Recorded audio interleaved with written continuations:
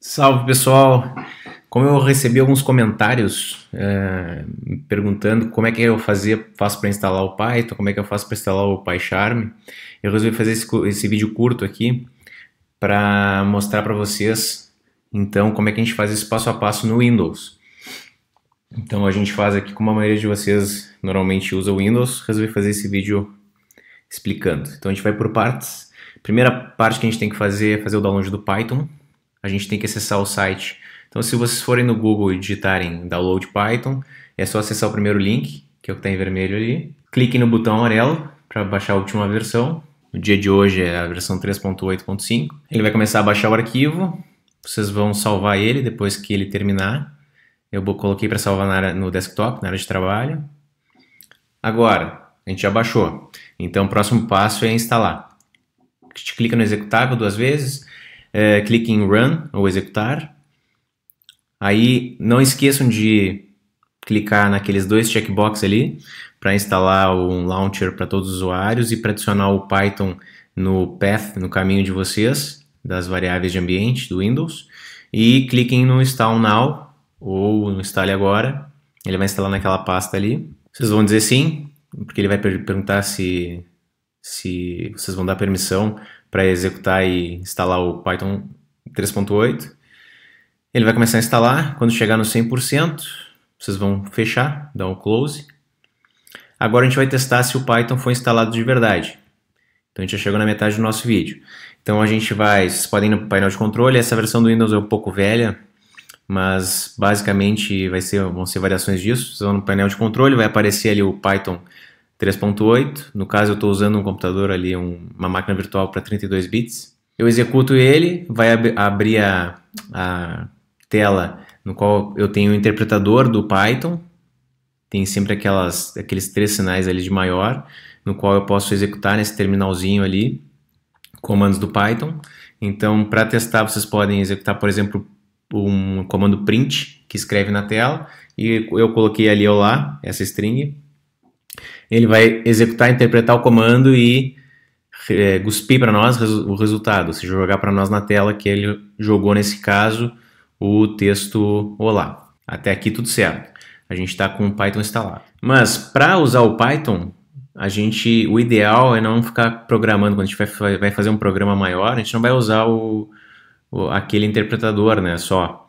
Então a gente precisa de um programa que nos dê mais facilidades. Então a gente vai usar a IDE chamada PyCharm. Ela é uma das melhores do mercado. Ela tem, então para fazer o download dela, basta vocês irem no Google e botarem download PyCharm, acessar aquele primeiro link ali. Não acessem o, não baixem o profissional, senão vocês vão ter que pagar. E cliquem ali no, no, no na versão comunitária. Uma pequena observação, se vocês estiverem usando, que nem eu nesse caso aqui, a, um Windows 32 bits, vocês têm que baixar a última versão válida para ele, que é a 2018.3.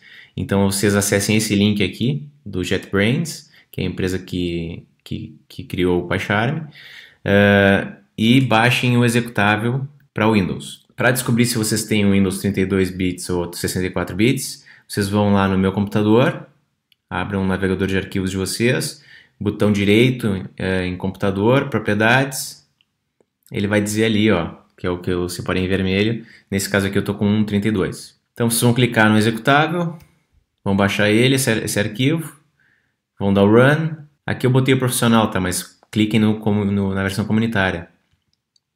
Next. Escolher a pasta que vocês querem, não precisa mudar nada aqui. Next. Vocês podem marcar essas opções como eu botei aqui, para ele associar arquivos uh, .py arquivos Python, né? É, que tem extensão PY para abrir já no PyCharm, criar um atalho no desktop, adicionar já o, a variável de ambiente do caminho, vamos mandar instalar, vamos esperar ele chegar no 100% e vão dar um finish. É aqui vocês podem escolher se vocês querem dar o reboot now, reiniciar agora a máquina, ou se querem reiniciar depois, futuramente. Finish. Agora a gente chegou na parte final, a gente vai testar o PyCharm.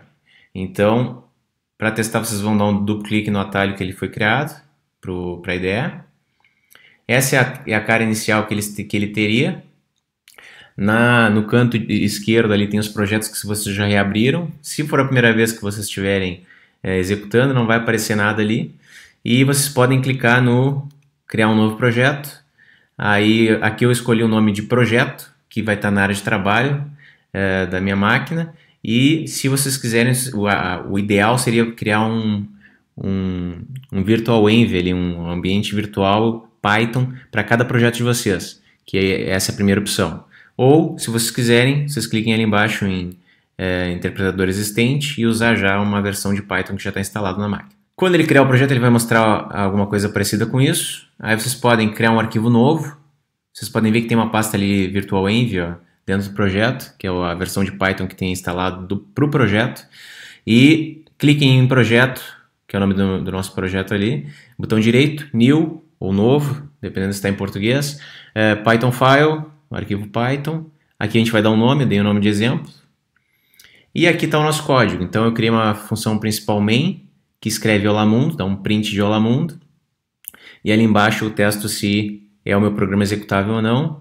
Então eu dou run exemplo, ele vai executar e vai mostrar o terminalzinho ali embaixo, a saída para nós, que ele vai mostrar a string Olá Mundo para nós e tá aí. E voilá. Tá feito a nossa instalação de Python e PyCharm. E aí vocês podem seguir os próximos vídeos ali da aula 1 em diante de Python para ir programando nessa linguagem que é muito, muito boa.